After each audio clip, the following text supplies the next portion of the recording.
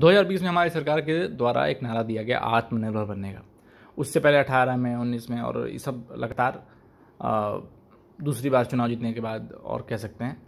आ, ये नारा और ज़ोर शोर से बढ़ गया। पहले भी था और ज़ोर शोर से बढ़ गया कि आ, आप अपने देश में अपने देश के लिए खुद काम करें नौकरी पाना या नौकरी की तलाश कम कर दें, नौकरी देने लायक बने जॉब सीकर की बजाय जॉब गिवर बने।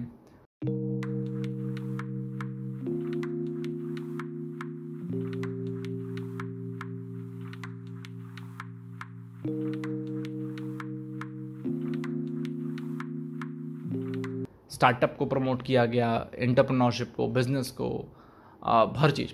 अभी रिसेंट में ईज़ ऑफ़ डूइंग बिज़नेस में उत्तर प्रदेश नंबर दो पे था और आंध्र प्रदेश नंबर वन पे था। मुझे ये समझ में नहीं आया ये डाटा कैसे आता है। अब अगर मैं, अब आपको शौक होगा, हो सकता है ये गवर्नमेंट के अगेंस्ट चला जाए गवर्नमेंट की फ़िलासफ़ी के सपोर्ट के। देखो सपोर्ट एक अलग होता है। अगर आप उन समस्याओं को नहीं सुलझा रहे हैं, आप सुनना भी नहीं चाहते, जिससे वाकई में एक हेल्प होगी, एक यूथ की हेल्प होगी इकोनॉमी को बहुत बड़ी बूस्ट मिलेगी। वाकई में एक इनिशिएटिव होगा जो ग्राउंड पे होगा। तो तब तक तो कोई फ़ायदा नहीं होने वाला। आपकी स्कीम्स धरी की धरी रह गई हैं वेबसाइट के रूप में। मैंने लगभग हर वेबसाइट चेक की हुई है और मैं किसी से सेटिस्फाई नहीं हुआ हूँ कि इस वेबसाइट के इस प्रोसीजर के थ्रू जाऊँगा। तो मुझ जैसे व्यक्ति को मतलब मुझ जैसा व्यक्ति का एक आपको एक एग्ज़ाम्पल देना चाहता हूँ।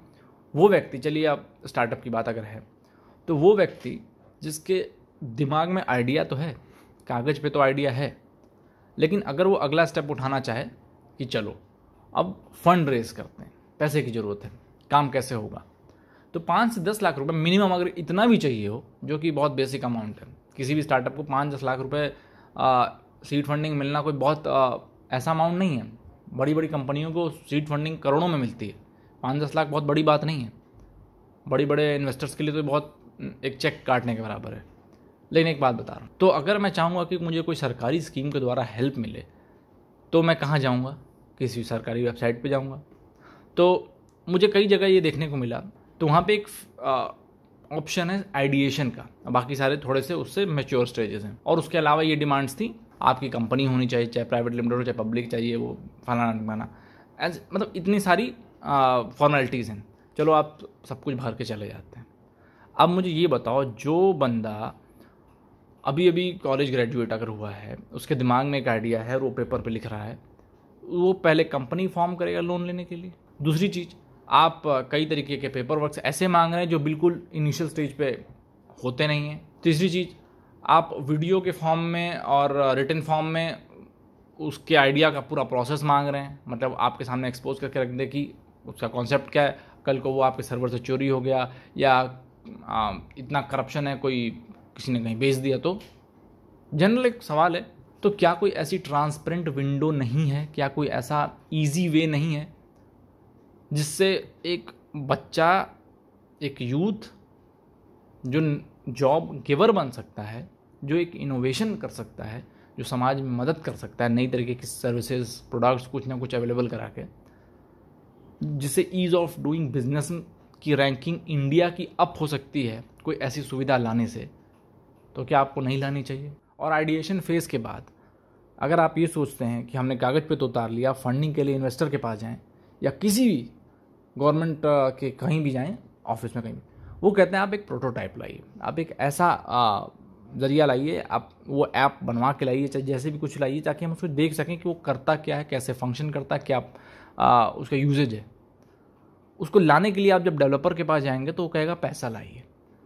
आप जिससे पैसा मांग रहे हैं, वो आपसे ऐप मांग रहा है। और आप जिससे ऐप बनवाना चाहते हैं, वो आपसे पैसा मांग रहा है।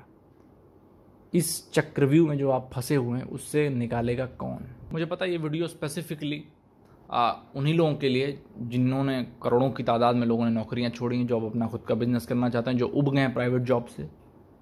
या तो वो सरकारी के लिए अप्लाई करेंगे I S P C S U P S C ये सब चीज़ें ट्राई करेंगे, या कोई कंपटीशन क्रैक करना चाहेंगे। या फिर कोई बिज़नेस ही करना चाहेंगे, यही सब चीज़ें करना चाहेंगे। लेकिन अगर वो स्टार्टअप या कोई बिज़नेस करना चाह रहे हैं तो सबको फंड चाहिए। इन्वेस्टर्स की कमी हमारे यहाँ बहुत ज़्यादा है, क्योंकि अभी तो ज़ाहिर सी बात है क्राइसिस चल रहा है। लेकिन फिर भी किसी पोटेंशियल इन्वेस्टर के लिए पाँच दस लाख रुपए बहुत बड़ी बात नहीं है, और इतना इनिशियल अमाउंट हर छोटे या बड़े किसी ना किसी को इससे ज़्यादा नहीं चाहिए होता है। मुझे, जितना मुझे पता है, बिल्कुल इनिशियल लेवल पे। मैं जनता से, अगर वेराइटी की जनता है मेरे पास जो इनमें से कुछ लोग, क्या पता इन्वेस्टर हों, किसी के पास बहुत ऐसा पैसा हो कि वो थोड़ा बहुत पैसा लगा दे भविष्य में और अर्निंग के लिए। तो मैं चाहता हूँ अपनी डिटेल्स मुझे इंस्टाग्राम पे डीएम कर सकते हैं। मैं बाकियों तक पहुँचा दूँगा। अगर आप स्टार्टअप वाले हैं, जिसको खुद पैसा चाहिए तो आप भी अपनी डिटेल्स भेजिए मुझे।